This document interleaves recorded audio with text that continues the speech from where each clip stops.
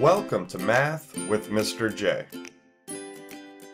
In this video, I'm going to cover how to round to 1, 2, and 3 decimal places, so the tenths, hundredths, and thousandths. Now rounding shows up all throughout math, and really life as well. So being able to round is important, no matter what class, level of math, or goal you are working towards. Let's jump into number one, where we have a fairly long decimal. We're going to round that decimal to one, two, and three decimal places, so the tenths, hundredths, and thousandths. In other words, we are going to cut this decimal off after one, two, and three decimal places. We'll start with the tenths, which is rounding to one decimal place. The first thing that we're going to do find the digit in the tenths place, which is the digit one place to the right of the decimal. There's a 7 in the tenths place. Now we need to take a look at the digit to the right in the hundredths. Is that digit 4 or less or 5 or more? Basically, we are seeing if this is closer to 7 tenths or 8 tenths. That digit to the right tells us this. Well, the digit to the right is a 4. 4 is 4 or less, so we stay the same. This rounds to 7 tenths. So what we did here, we took that long decimal and cut it off after the tenths place using rounding. Now this is the approximate sign. I use that because we have an approximate rounded decimal. Our original decimal isn't exactly equal to 7 tenths. So we use that approximate sign to show that we rounded. Let's move on to the hundredths, which is rounding to two decimal places. The hundredths place is two places to the right of the decimal. There's a 4 in the hundredths place.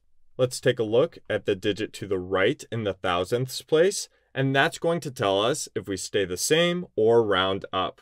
Basically, we are seeing if this is closer to 74 hundredths or 75 hundredths. That digit to the right tells us this. 9 is 5 or more, so we round up. This rounds to 75 hundredths.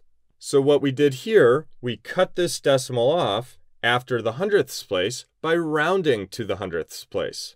Let's move on to rounding to the thousandths, which is rounding to three decimal places. The thousandths place is three places to the right of the decimal. We have a 9 in the thousandths place. Let's take a look at the digit to the right in the ten thousandths place. There's an 8. So that 8 tells us if we are closer to 749 thousandths or 750 thousandths. 8 is 5 or more, so we round up. Now we're rounding up a 9. When we round up a 9, we get 10. The 0 from the 10 goes in the place we are rounding. We regroup the 1 from the 10 to the next place to the left. So we have 1 and 4. That gives us a 5 in the hundredths. Bring down the 7 in the tenths place, the decimal, and then the 0 to show that we do not have any whole numbers here. So this rounds to 750 thousandths. So we cut this decimal off after the thousandths place by rounding. Now I do want to mention that there are different ways to think through rounding up a 9. I dropped the link to my video about rounding up 9s down in the description if you need more examples. Let's move on to number 2 where we have 24 and then some decimal digits. Let's start by rounding to the tenths place. We have a 0 in the tenths place. Look to the right. There's a 2. 2 is 4 or less, so we stay the same. This rounds to 24 and 0 tenths, which is just 24. I included that 0, though, to show that we rounded to the tenths place. Let's move on to rounding to the hundredths. There's a 2 in the hundredths place.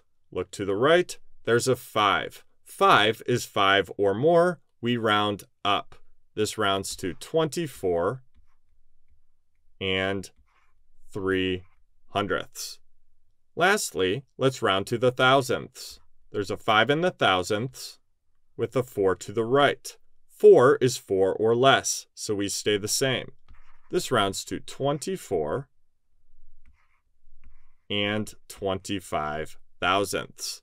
So there you have it. There's how you round to 1, 2, and 3 decimal places. So the tenths, hundredths, and thousandths. I hope that helped. Thanks so much for watching. Until next time, peace.